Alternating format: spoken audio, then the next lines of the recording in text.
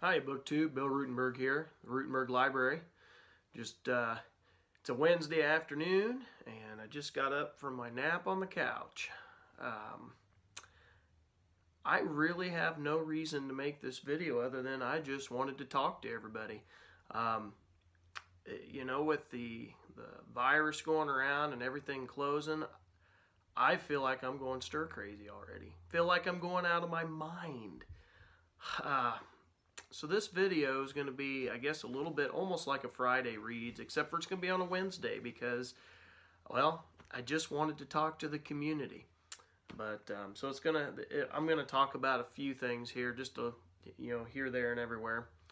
Um, but anyway, uh, so school, yep, uh, you know, living here in Iowa, the governor officially started shutting things down and gave some advice to school districts to shut down, and my school has shut down for four weeks. And uh, I, I originally was panicking about this. You know, what am I going to do? What am I going to do? And the more I thought about it, the more I realized, you know what, this is all in God's hands, and there isn't anything I can do. So I need to quit stressing. And so, uh, you know, I was sitting there thinking about ways that I could, uh, you know, just make the best out of a just a bad situation, really. And um, what came to my mind was I'm going to use these four weeks and I am going to read. You know, at, at school, uh, we've got uh, we, we work with this leadership program that we that we had uh, put together and and part of it is setting goals you know it's leader and me stuff and and um, setting goals, short term, long term, and at the beginning of every school year, uh, even the teachers are doing this with the kids, and we've set long term goals. And my long term goal was to read 40 books during the school year. And uh, last year, I think I fell just short of it. The previous year or two, I hit my goals and even exceeded my goals. I got clear up to 50 books two years ago. But last year, I fell a little short, and I didn't want to fall short again. And so uh, this year I did 40, and as Christmas rolled around, and then into January, and then into February, I started realizing, man, I'm gonna, we're getting ready to head into that busy time of the year, and I might not get my goal done, and it was starting to really bother me. And so, one of the things that I I figured that I could do was I could make sure I knocked that goal down and uh, get my 40 books read. And so that is something I've been working on for the last couple days uh, you know, Monday, Tuesday, and then this morning, um, I started reading The Return of George Washington. I've told you about this book, and uh, I am now 180 pages in. It's about 300 pages worth of actual text by the author, and um, it's a little bit. I'm having a slow go of it for whatever reason. I think maybe I'm just burnt out on George Washington just because I've read so many books on him lately, and I think I need to switch topics. And in class, we're getting ready to head towards the Civil War whenever we get back from our our virus vacation. Uh, whenever we get back, we're going to be heading into the Civil War, and I think I might switch gears and start reading about Lincoln here pretty quick. Lincoln in the Civil War. But that's one of the books I've been reading. I should have that done here in the next two days or so. And then another book that I, I picked up was this biography, Lou, 50 Years of Kicking Dirt, Playing Hard, and Winning Big in the Sweet Spot of Baseball by uh, Lou Piniella, and, and he wrote this with Bill Madden. And I've been reading this the last two afternoons, and I am darn near, I'm 210 pages in, and it's about 300, eh, a little bit more than 300 pages, 332 pages. And so, so I should be able to finish this here pretty quick. If not today, it'll be tomorrow. I haven't read any this afternoon. I've been reading this one in the afternoons, and but anyway, it's really good. He he uh, he's quite the interesting character. If you don't know anything about Lou Piniella, um, this was also, by the way, a uh, I had a little. Uh, I don't even know if you want to call it a book haul. I picked up a couple books. Uh, this one I was at Dollar Dollar Tree in Maryville and I found it for a buck. And you know, I told you a couple videos back that you could find you can find good baseball biographies for only a buck at the Dollar Tree. And it had been a while, it had been probably a year since I'd gotten one, and sure enough, one came up.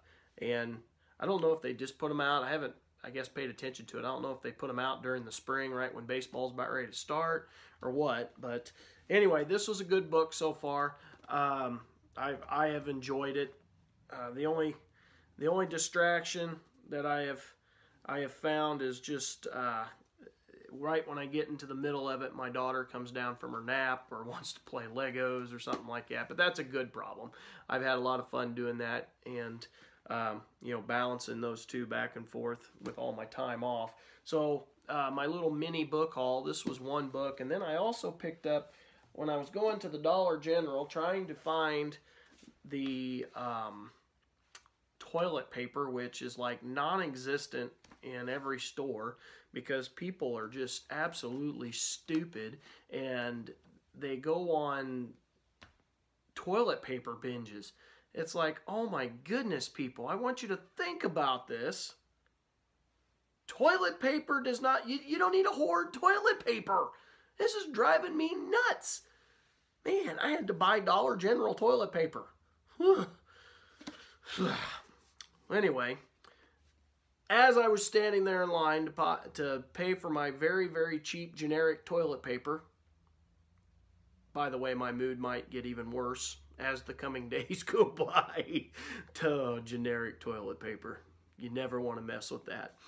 Anyway, um, in the in line to, to buy my toilet paper, I looked over, and in the last several times I've been in there, I've seen this book, uh, Varina, uh, by Charles Frazier and it was only two bucks there at the Dollar General. And it's you know it says you know best-selling author of Cold Mountain.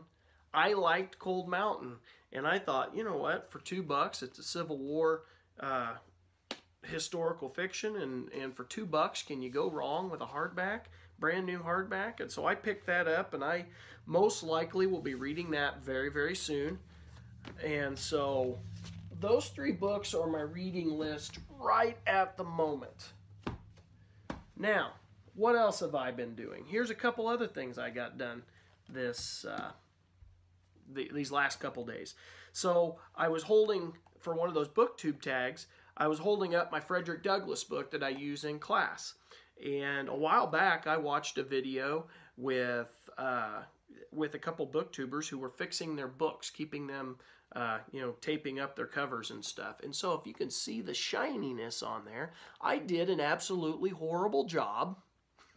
as you, as you, can you see the, you can see the, uh, the lines there. Yeah, I didn't do a great job with this one. I've done a much better job in the past, but I got my book taped up, so at least it'll last several more readings. That's the idea behind it. And then also, we were reading uh, Little House on the Prairie, to my youngest daughter. We've been starting to do that.